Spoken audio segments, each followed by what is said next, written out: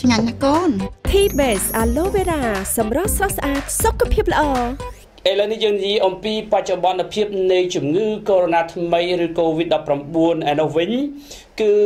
បើតាមតួលេខរបស់អង្គការសុខភាពពិភពលោកបានប្រកាសនៅថ្ងៃនេះតែម្ដង ដែលបញ្ជាក់ថានៅឯប្រទេសកូរ៉េគឺថាមួយថ្ងៃឆ្លងជិត100នាក់ហើយនៅឯចិនវិញគឺស្លាប់ក្បែរ100នាក់ដែរ ដោយអង្គការសុខភាពពិភពលោកបានប្រកាសកាលពីថ្ងៃនេះតែម្ដងថាប្រជាជននៅទូទាំងសកលលោកចាំបាច់ត្រូវតែត្រៀមលក្ខណៈលើការបង្ការនៅហានិភ័យនៃវីរុសផ្លូវដង្ហើមថ្មីឬ COVID-19 បន្ទាប់ពីបានផ្ទុះរាលដាលកាន់តែខ្លាំងឡើងខ្លាំងឡើង លើសពីប្រទេសនៅក្នុងតំបន់អាស៊ី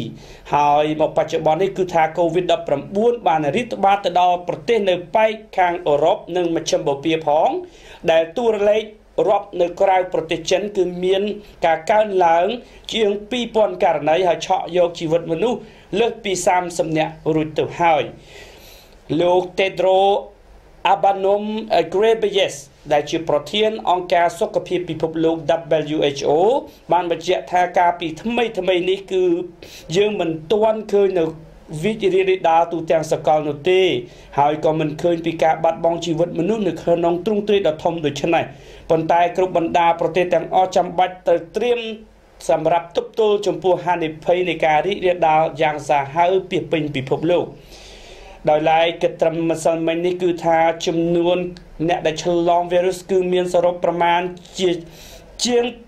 81100